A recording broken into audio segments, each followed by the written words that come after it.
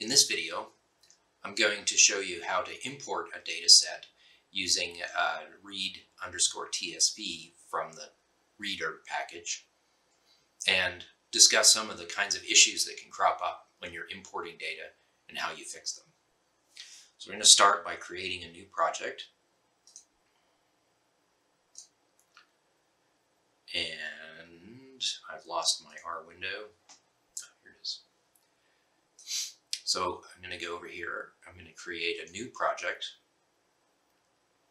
new directory, new project, and I'm just going to create it in my user folder. Actually, I'll put it in documents. I've got an NRES 800 folder, so I'll put it there. And I'm going to call this um, the my last name, tyre underscore data because that's the exercise that we're working on. Okay, so our restarts and we've got our NRES, here's our breadcrumbs showing us where we are. Now what I'm going to do is create a new folder and I'm going to call it data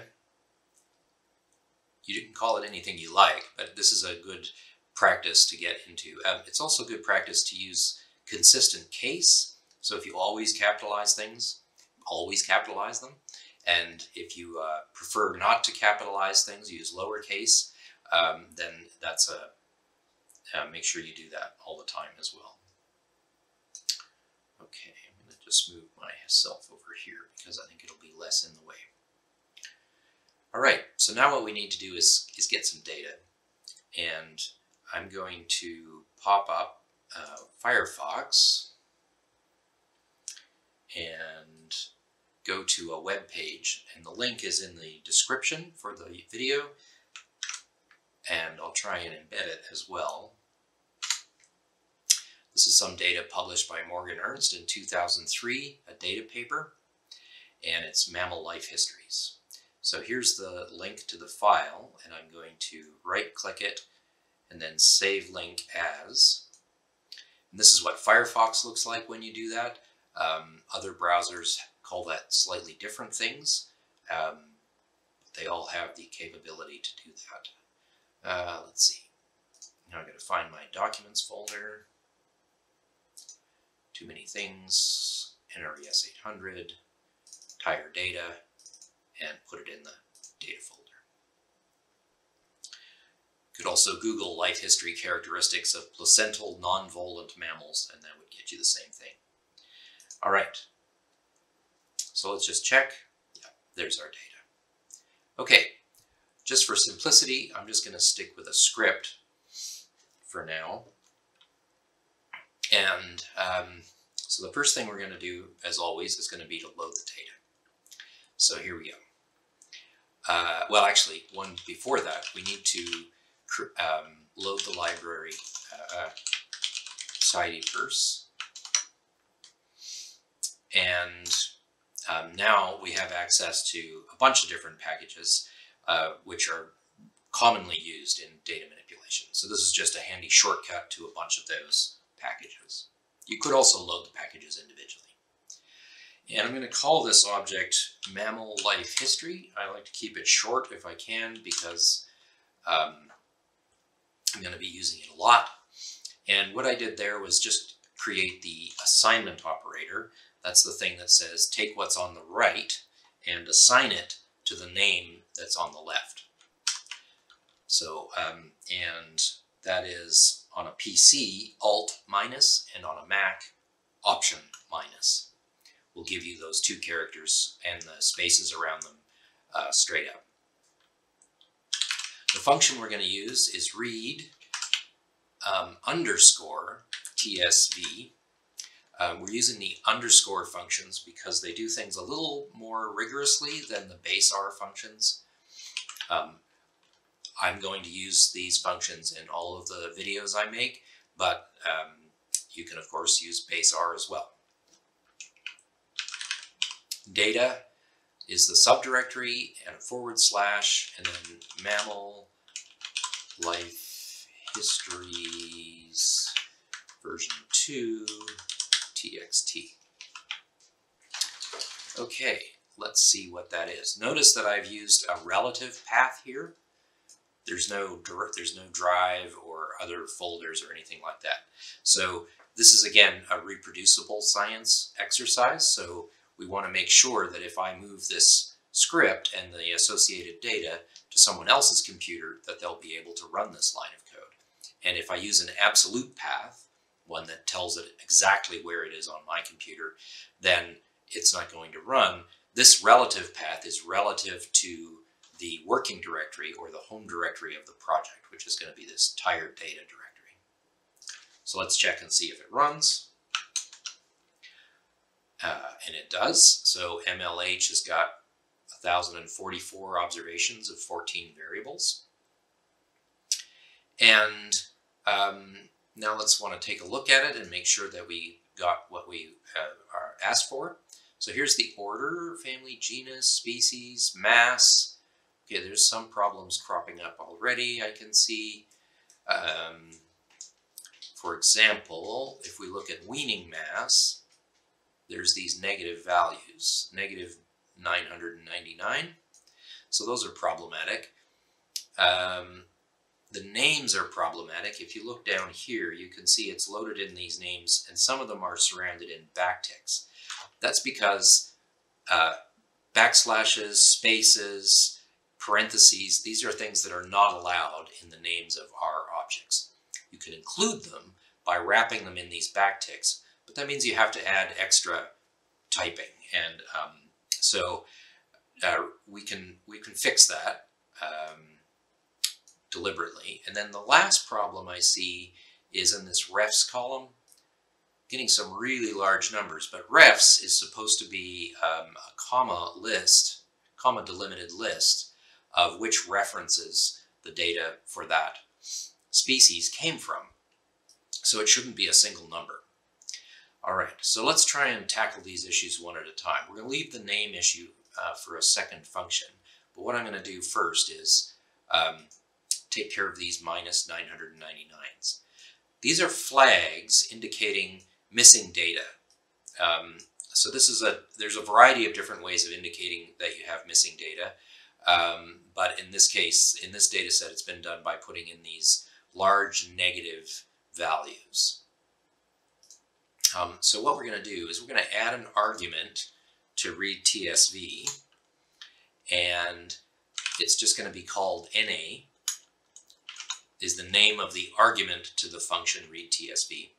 And we're just going to tell it what are the things that are going to be treated as um, missing values. By default, that's a space. But in this case, it's been done explicitly with these large negative numbers, oops, zero, zero. So we can run that line again. And I'm just hitting Control Enter on my keyboard, or Command Enter.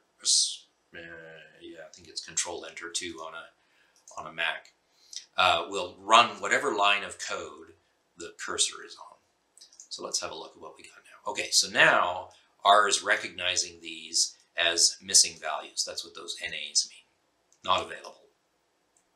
Okay, that's good because a number in that spot, we could do calculations with it. They'd be wrong, but we could do them.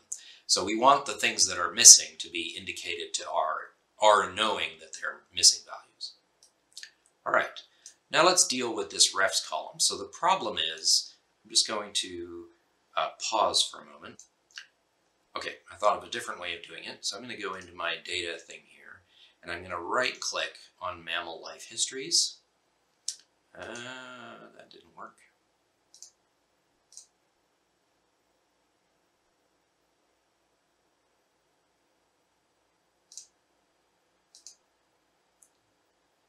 Oh, there we go.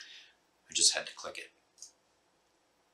Okay, so what we can see in our text file is the first row has got the names, and then we've got our data rows, and that's what the refs column looks like. It's the last column. It's quoted, and then there's commas separating which number or which references are um, being used. So it's really a character column, But what's happening is occasionally, let's find one, there is uh, one that has a single number in it. And so R is trying to, is real is checking those first rows and occasionally coming across something like that, a 1, which isn't wrapped in quotes because it's just a single number. But the problem is that then R thinks that whole column should be interpreted as numbers, and it does its best to make that into a number. Um, so that's what we, we don't want it to do that. Uh, what we want to do is have it treated as a character column. And so we can force it to uh, figure out that, to treat that as a, a, a character column by using this argument col types. And um, by default, this is just null, and it tries to guess what the appropriate um, values are.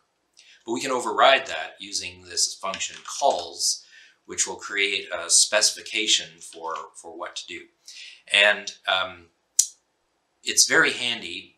I like the way this works for this one because we don't have to specify the types for all of the columns.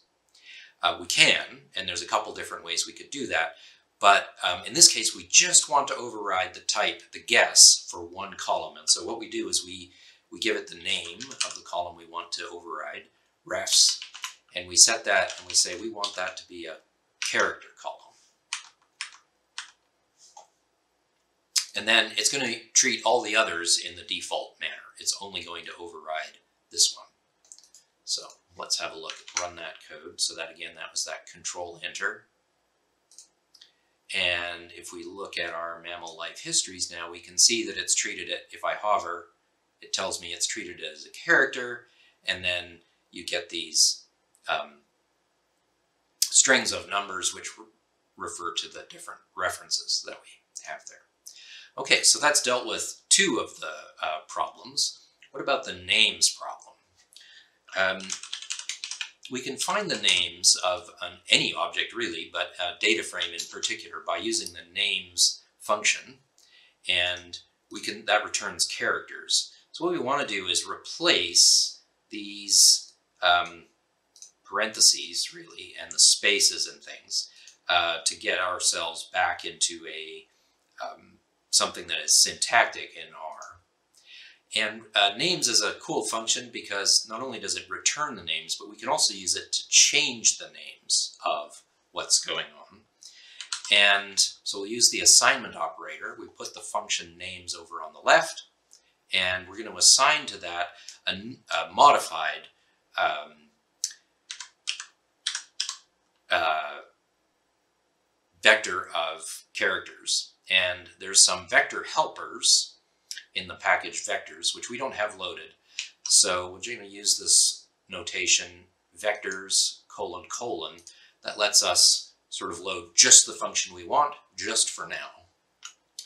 And um, what we want is um,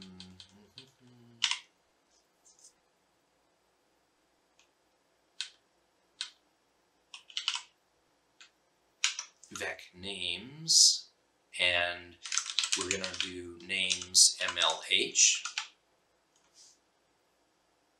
No, this is not right. Hang on a second. I need to pause again.